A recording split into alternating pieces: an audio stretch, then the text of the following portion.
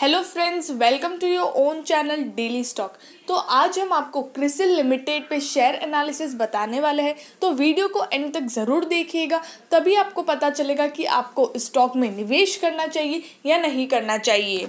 आगे बढ़ने से पहले, अगर आपने हमारे चैनल को सब्सक्राइब नहीं किया हो तो आप हमारे चैनल को सब्सक्राइब ज़रूर कर दीजिएगा, क्योंकि हमारा चैनल आपको सारी अपडेट स्टॉक मार्केट रिलेटेड जैसे कि शेयर एनालिसिस कोई भी नया आईपीओ हो या कोई भी नई ब्रेकिंग न्यूज़ हो कंपनी रिलेटेड सारी अपडेट्स आपको टाइम से टाइम देता है तो आपको बहुत ही ज़्यादा बेनिफिशियल होगा अगर आप हमारे चैनल को सब्सक्राइब करोगे। तो चलिए अब आगे बढ़ते हैं। कंपनी के बारे में बात करते क्रिसिल लिमिटेड ऑलमोस्ट सारे लोगों ने इस कंपनी का नाम सुना होगा। ये नहीं पता होगा कि ये कंपनी है या नहीं, पर ये ज़रूर सुना होगा कि क्रिसिल लिमिटेड एक ऐसी चीज़ है जो कंपनी को रेटिंग्स देता है। कंपनी को रेटिंग्स भी देता है, साथ में ये डेटा एंड रिसर्च एनालिटिक्स मतलब साथ ही में ये रिसर्च भी करता है और सल्यूशन ये सारा काम क्रिसल लिमिटेड करता है। ये तीन पार्ट्स में बटा हुआ है, जहाँ पे ये रेटिंग्स देता है, सिर्फ़ कंपनी को ही नहीं। साथ ही में ये कोई इकोनॉमी को या फिर ग्लोबली कोई चीज़ चल रही हो, उसको, सारी चीज़ों को ये रेटिंग्स देता है, उसके बाद रिसर्च करता है और एडवाइजरी भी देता है। तो ये तीन चीज़ें जो क्रिसिल लिमिटेड करता है और उससे अर्न करता है। तो अब बात करते हैं इसकी मार्केट कैपिटलाइजेशन की, वो thirteen thousand two point thirty four crore की है। मतलब कि ये एक मिड कैप कंपनी है, जिसका dividend yield one point eighty four percentage है। अगर आप इंडस्ट्री का पी देखोगे तो forty six point twenty two है और कंपनी का पी देखोगे तो thirty six point sixty five है। तो अब हम यहाँ पर ऐसा भी नहीं बोल सकते कि ये एक ओवर वैल्यूड शेयर है या ये एक अंडर वैल्यूड शेयर है। ये एक न्यूट्रल शेयर है मतलब आपको अच्छे दाम पे ये मिल रहा है। अब बात करते हैं इसकी बुक प्राइस की तो वो है नाइन पॉइंट नाइन वन मतलब nine point nine one times अगर आप करोगे तो इसकी करंट मार्केट वैल्यू आएगी, जो ज़्यादा ही है, अगर आप देखो तो। और अगर आप बुक वैल्यू रुपीज़ के टर्म्स में देखोगे तो one eighty point four nine है तो बुक वैल्यू के अगर आप रुपीज़ के टर्म्स में देखोगे तो कंपेयर करोगे तो आपको ये जो करंट मार्केट प्राइस है, वो ज़्यादा ही है। अब इसकी deliverable sixty nine point four one मतलब sixty nine point four one percentage लोगों ने इतनी डिलीवरी उठाई है कल के दिन मतलब जो थर्सडे को मार्केट ओपन था तब। और ट्वेंटी डे एवरेज डिलीवरी देखो तो मतलब बीस दिन का अगर आप एवरेज निकालो तो twenty eight thousand four hundred and thirty seven shares लोगों ने उठाए हैं।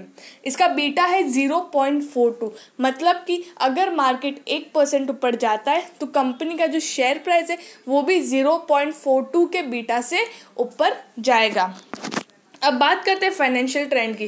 तो जैसे कि यहाँ पे कंपनी का जो रेवेन्यू और सेल्स है, चार साल का तो लगातार वो एक तरह से कांस्टेंट समझिए मतलब जैसे कि वन पॉइंट सिक्स एट है उसके बाद one point eight two one point eighty मतलब आसपास ही है। ज़्यादा इंक्रीमेंट नहीं दिख रहा है, लेकिन टू थाउज़ेंड ट्वेंटी में कंपनी का इंक्रीमेंट दिखा है टू पॉइंट ज़ीरो सिक्स मतलब कंपनी में थोड़ा सा इंक्रीमेंट आया है। और उसी के साथ जो कंपनी का मुनाफा है, वो तो स्टेगनेंट है, वही का वही पे अटका हुआ है। जैसे कि प्रॉफिट था टू थाउज़ेंड सेवेंटीन में, तीन सौ करोड़ था, फिर थर्ट तीन सौ करोड़ था, फिर थ्री सिक्सटी करोड़, फिर three forty crore three fifty crore. तो कंपनी का जो प्रॉफिट है, वो आजू बाजू में ही अटक रहा है। ऐसा नहीं है कि कंपनी बहुत ज़्यादा अच्छी कर रही है तो उस वजह से कंपनी का जो प्रॉफिट है, वो भी बहुत ज़्यादा ऊपर जा रहा है। कंपनी का सेल्स भी उतना ही है और कंपनी का प्रॉफिट भी उतना है। ज़्यादा ज़्यादा सेल्स ज़्यादा डिमांड नहीं दिख रही है। अब बात करते हैं शेयर होल्डिंग पैटर्न की तो प्रमोटर्स के पास sixty seven point thirteen percentage का शेयर होल्डिंग है और उसी के साथ जो फॉरेन इंस्टीट्यूशन है, उनके पास सेवन पॉइंट फिफ्टीन परसेंटेज और डोमेस्टिक इंस्टीट्यूशन के पास eleven point fifty five percentage और साथ ही में जो पब्लिक है, जो छोटे मोटे इन्वेस्टर्स है, उनके पास फोर्टीन पॉइंट सेवनटीन परसेंटेज का स्टेक है। तो सबसे ज़्यादा ओवरऑल देखें तो प्रमोटर्स के पास सबसे ज़्यादा स्टेक है। अब बात करते हैं रेवेन्यू स्टेटमेंट की तो जैसे कि क्वार्टरली रिजल्ट्स देखें, हमने यहाँ पे तीन क्वार्टरली रिजल्ट्स आपको बताया है, जहाँ पे आपको सेल्स देखिए तो हर क्वार्टर में कंपनी का सेल्स इंक्रीज हो रहा है। तो यहाँ पे बहुत ही अच्छे से इंक्रीज हो रहा है। फोर सेवेंटी वन करोड़ था in June two thousand twenty और दिसंबर टू थाउज़ेंड ट्वेंटी में कंपनी का जो सेल्स है वो फाइव नाइन्टी सेवन करोड़ का है। साथ ही में कंपनी के एक्सपेंडिचर्स इंटरेस्ट टैक्स डिडक्ट करो तो नेट प्रॉफिट आता है कंपनी का 66 करोड़ इन जून 2020 और दिसंबर 2020 में कंपनी का जो नेट प्रॉफिट है वो है 110 करोड़ का। तो क्वार्टरली रिजल्ट्स देखें तो कंपनी के काफ़ी अच्छे खासे, क्योंकि हर क्वार्टर में कंपनी का इंक्रीमेंट दिख रहा है। कंपनी इंक्रीज हो रही कंपनी का सेल्स इंक्रीज हो रहा है, लेकिन धीरे धीरे इंक्रीज हो रहा है। वो जो एक एक बूम होता है ना कि अभी इतना है और नेक्स्ट लेवल पे उतना है, वो चीज़ नहीं दिख रही है, लेकिन कंपनी का धीरे धीरे इंक्रीमेंट दिख रहा है। अब बात करते हैं रिटर्न रेशोज की तो यहाँ पर रिटर्न रेशोज कंपनी के सारे डिक्रीजिंग ट्रेंड में, जैसे कि रिटर्न ऑन इक्विटी देखें तो वो दिसंबर 2018 में thirteen one point ninety five percentage था। मतलब रिटर्न ऑन इक्विटी मतलब कंपनी की जो इक्विटी उस पर उसको यूज़ करके कितना प्रॉफिट लाती तो वो हर साल डिक्रीज हो रहा है तो ये एक नेगेटिव बात है कंपनी के लिए। उसके बाद आर देखेंगे तो आर भी हर साल डिक्रीज हो रहा है। मतलब कंपनी की जो कैपिटल है जो कंपनी कहीं से भी लेके आए, उस पर उसको कैसे यूज़ करके कंपनी प्रॉफिट लाती है? तो वो हर साल डिक्रीज हो रहा है तो ये भी एक एक नेगेटिव बात है कंपनी के लिए। और साथ में रिटर्न ऑन एसेट्स देखें तो वो भी हर साल डिक्रीज हो रहा है।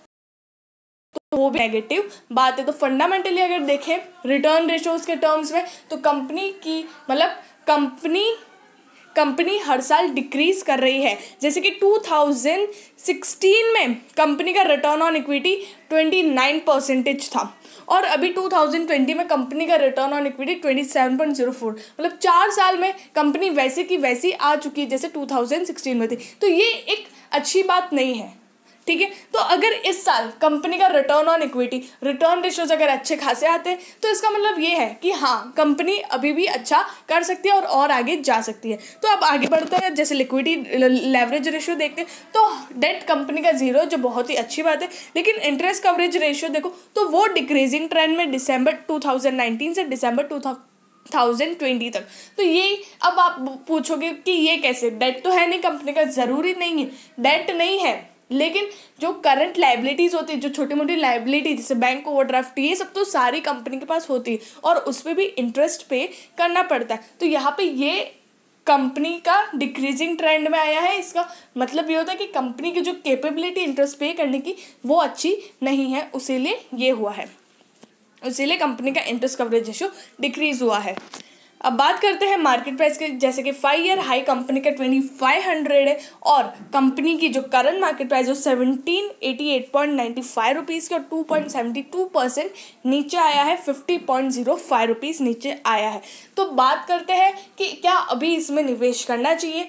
तो अगर आप ऑलरेडी इन्वेस्टर हो इसके तो आपको होल्ड करके रखना चाहिए। और अगर आप नए निवेश करने वाले हो मतलब आपको अगर निवेश करना तो मेरा, अगर मेरी राय है कि अगर अभी आपको इसमें निवेश नहीं करना चाहिए तो क्योंकि कोई भी ऐसे साइंस नहीं दिख रहे हैं जिसमें आपको ऐसा हो कि आपको प्रॉफिटेबिलिटी हो सकती है। आपको अप्रैल क्वार्टरली रिजल्ट्स का वेट करना चाहिए और अगर वो क्वार्टरली रिजल्ट्स में आपको और भी अच्छा इंक्रीजिंग ट्रेंड दिखे और और साथ ही में जिसके, जो इसके रिटर्न रेशोज़ है, वो भी अगर अच्छे दिखे तो आपको इसमें निवेश करना चाहिए। क्योंकि क्रिसिल एक ऐसी कंपनी है जो कभी इसको कभी कुछ हो नहीं सकता। क्योंकि इसका जो रेटिंग्स देने का काम है, वो वर्ल्ड की मतलब टॉप सेकेंड या थर्ड कंपनी ऐसी है क्रिसल कंपनी जो सारी कंपनीज़ को रेटिंग्स देती है और सब लोग इस रेटिंग्स पे ट्रस्ट करते हैं।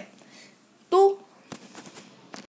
तो इस कंपनी को कुछ हो नहीं सकता है। लेकिन आपको अभी वेट करना चाहिए। आपको थोड़ा वेट करना चाहिए, क्योंकि अभी इसमें आपको निवेश नहीं करना चाहिए। अगर इसका प्राइस थोड़ा और नीचे आ जाए, उसके बाद आप इसमें लो तो आपको ऐसा होगा कि हाँ हमने ना ज़्यादा हाई प्राइस में लिया नहीं है और आपको अच्छा खासा मुनाफा भी होगा।